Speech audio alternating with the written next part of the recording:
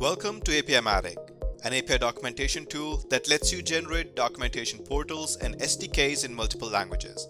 And the best part is, all of this can be done in three simple steps. Let me show you how.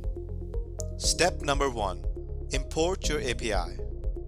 Start off by signing up on APImatic and log into your APImatic dashboard. Once you're here, click on the Import API button. You can import your API through a public URL or through your local machine by clicking on Browse. Select your API and click on Import to start the validation process.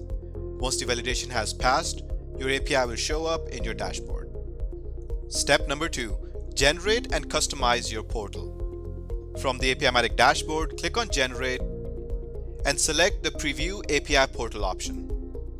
This will open your portal in preview mode. Everything you see here has been auto-generated from your API spec file. And you can change the language of your documentation from the drop-down at the right. To customize your API portal, go back to your APImatic dashboard and click on Edit Docs. In the portal editor, you can customize the branding of your portal, add custom documentation guides, logo, change the font, and so on. Once you're done with the customizations, make sure to click the Save button at the top right.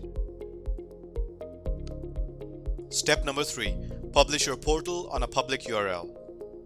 Now that your portal is ready, let's publish it for the world to see. From your APImatic dashboard, click on Edit Docs to open the portal editor.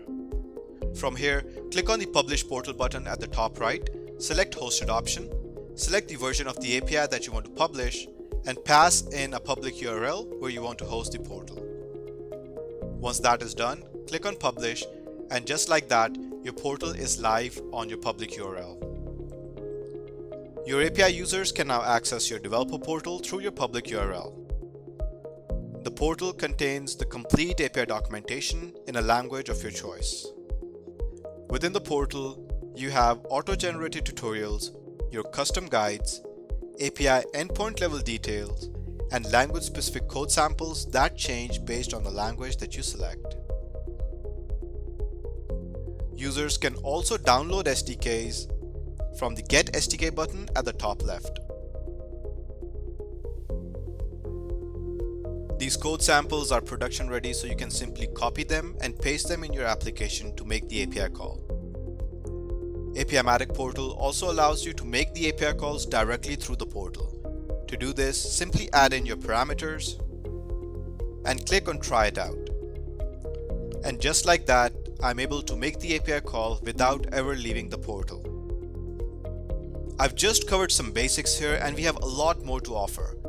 You can explore the whole world of APImatic with tons of features to enhance your developer experience. Share your requirements with us and our team will be more than happy to guide you.